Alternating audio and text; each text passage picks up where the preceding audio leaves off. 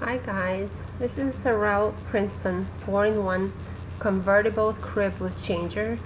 The color is espresso. We purchased it from Babies R Us and I wanted to make a video to show you that the drawers can be removed if needed.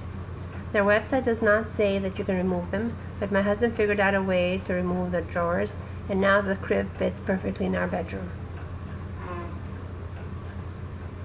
Before we were not able to close the bathroom door and it was kind of in the way.